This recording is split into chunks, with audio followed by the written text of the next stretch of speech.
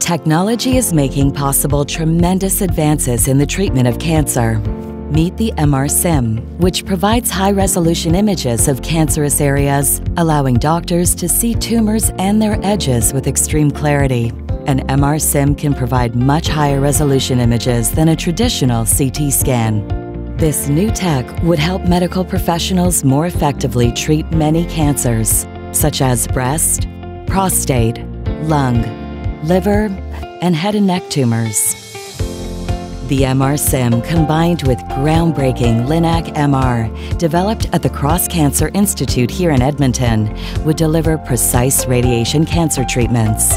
Together, they could target cancer cells with higher doses of radiation, while significantly reducing the risk of damaging surrounding healthy tissues and organs. This means patients will need fewer treatment sessions and will experience shorter recovery times, and also means more people can be treated each year. Shorter recovery times means more time spent with their families in their homes instead of at the hospital.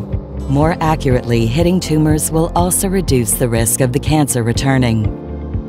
To bring this cutting edge technology to Edmonton, the Cross Cancer Institute needs $3 million.